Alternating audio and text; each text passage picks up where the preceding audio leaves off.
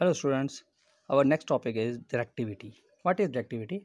The ratio of maximum radiation intensity of the subject antenna to the radiation intensity of an isotropic or reference antenna, radiating the same total power.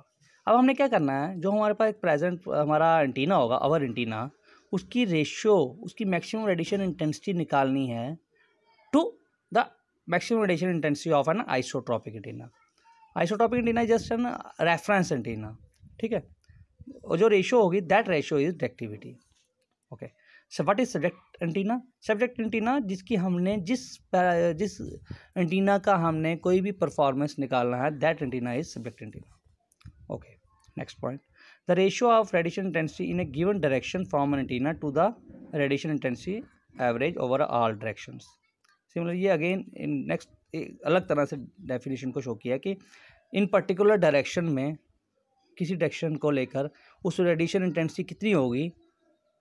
To the radiation intensity of average of all in all directions okay?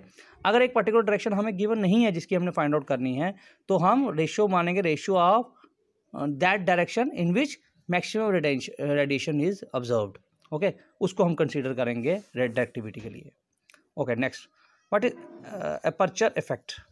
Efficiency. Aperture efficiency क्या हो गया?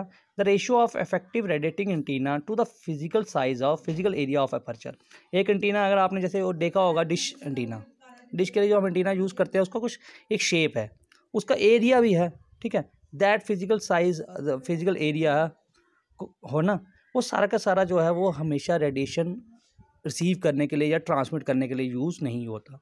उसका कुछ ही portion जो है, जो effective radiation achieve करके radiation को रिसीव करके या ट्रांसमिट करके सिग्नल को ट्रांसमिट या रिसीव कर पाता है। वो जो इफ़ेक्टिव एरिया है, उसकी ratio with respect to physical size of area that ratio is efficient aperture efficiency okay what is isotropic radiator isotropic radiator is that radiator that antenna which radiate uniformly in all directions it is no doubt it is um it is impossible but as a reference antenna we all we are we are already we are always using this isotropic radiator is also known as omni direction antenna gain of this antenna is unity और in decibel की terms में this is zero okay what is equal and isotropic radiated power अगर हम किसी भी signal antenna की amount of power that an isotropic radiated that एक power amount of power जो आइसोट्रॉपिक एंटीना रेडिएट करता है to produce peak power density that is E I R P अगर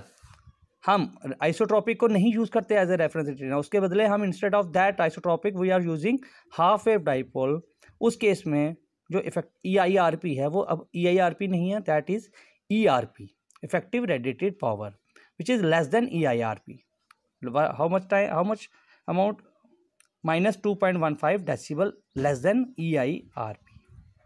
Okay, so it is better to remind this what is EIRP and ERP.